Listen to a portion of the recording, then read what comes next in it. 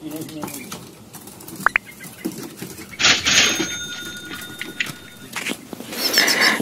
Assalamualaikum Telur Pelayangan TV di mana pun kalian berada.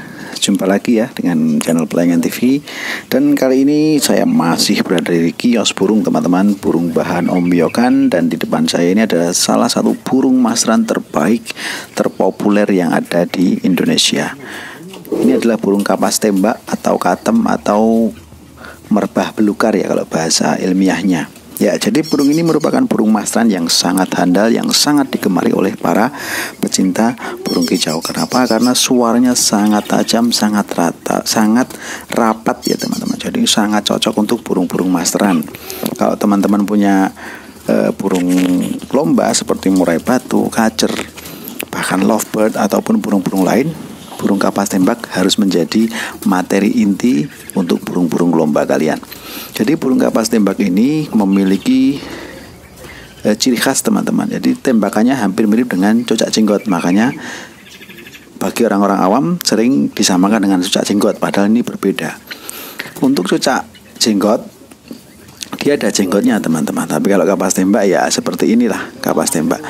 Memang rata-rata e, teman-teman kicau mania yang memiliki burung gacoan jadi menggunakan kapas tembak yang berjenis kelamin betina teman-teman sebagai burung mastrannya seperti ini contohnya. Burung ini adalah burung bahan namun gerakannya tidak begitu uh, giras. Ya giras mapan lah.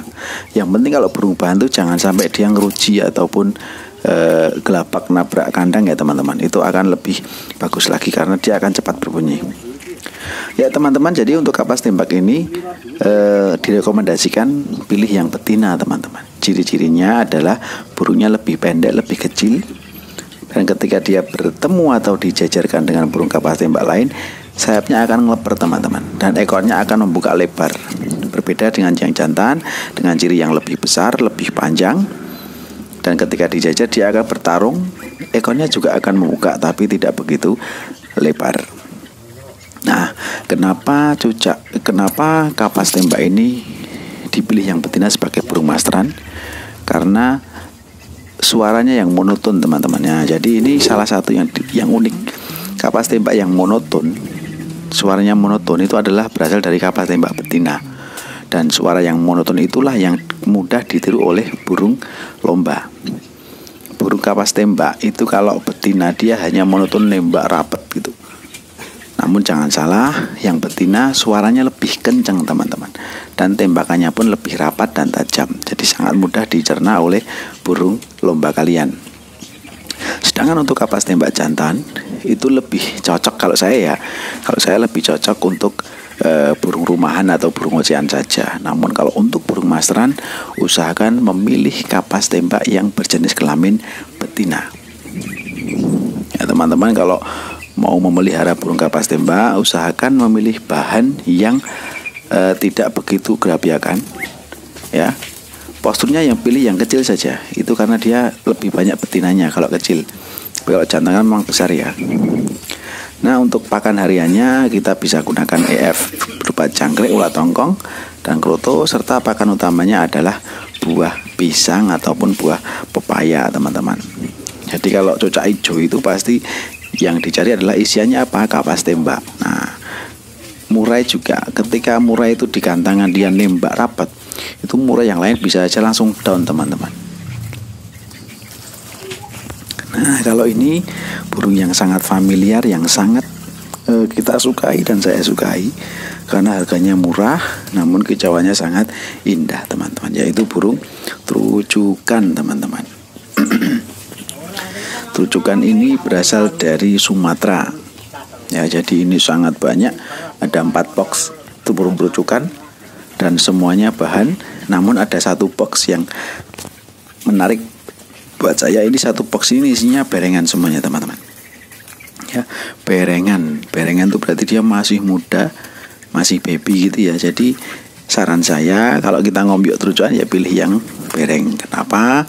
Di banyak video sebelumnya sudah saya sampaikan bahwa memelihara cocak bahan dari ombyokan itu kita memiliki banyak kelebihan kalau kita pelihara dari bereng. Yang pertama dia pasti lebih mudah mapan atau mudah dijinakkan. Yang kedua, kalau susah bereng itu dia tidak begitu stres teman-teman. Artinya pemulihan stresnya lebih cepat daripada yang dewasa. Ini akan berdampak pada rujukan kita itu akan cepat berbunyi teman-teman. Meskipun kalau berengan dia belum e, ngeplong, tapi dia masih di bawah ngeriwik gitu ya teman-teman. Kalau teman-teman punya terujukan yang bereng itu pasti mendengar terujukan berengan yang ngeriwik. Nah, jadi ngeriwik itu belum ngeplong teman-teman. Suaranya masih di dalam tenggorokan lah, ini masih pelan gitu ya. Tapi e, positifnya adalah ketika dia sudah mulai ganti jubah sekali, ketika dia sudah e, mapung satu kali, dia pasti akan ngeplong. Itu karena kita rawat dari e, berengan. Jadi kalau berengan tuh kita agak sabar sedikit tapi hasilnya nanti akan maksimal. Berbeda dengan yang dewasa atau yang tua, teman-teman.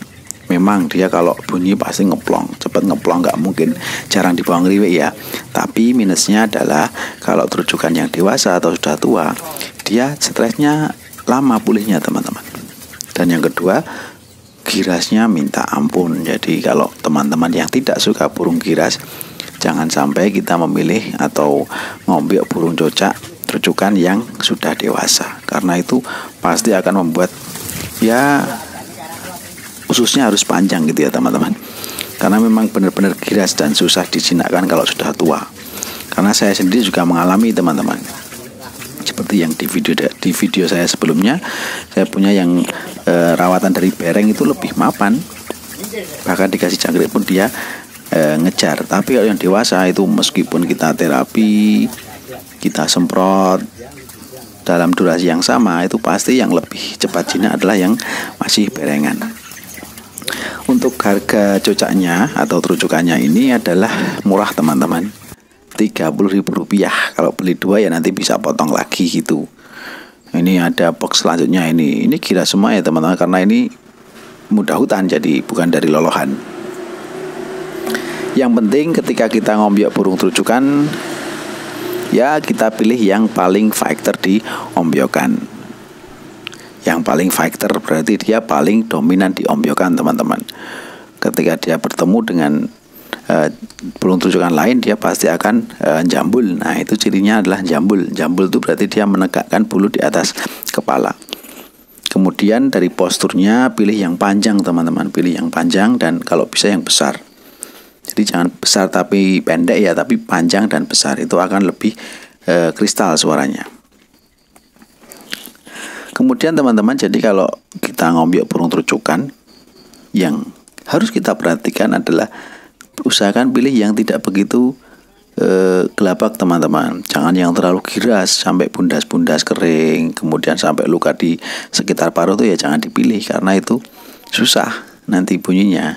Usahakan yang pilih ya meskipun dia kiras tapi dia cuma loncat ke tangkringan ke pinggir ke tangkringan lagi. Ya itu menunjukkan bahwa dia mentalnya sudah lumayan meskipun masih kiras ya karena itu masih butuh polesan lagi teman-teman.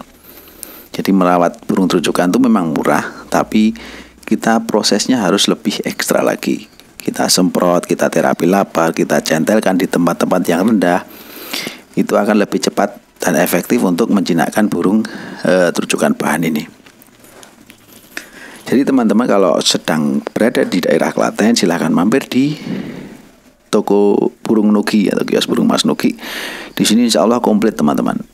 Burung kepodang, burung terujukan, burung SRDC, burung kelatik, burung kawas tembak, burung kolibri ninja, burung cocak hijau, cocak meranti, bahkan kinoi ada juga cungkok macam-macam ada pleci Nah, banyak lah.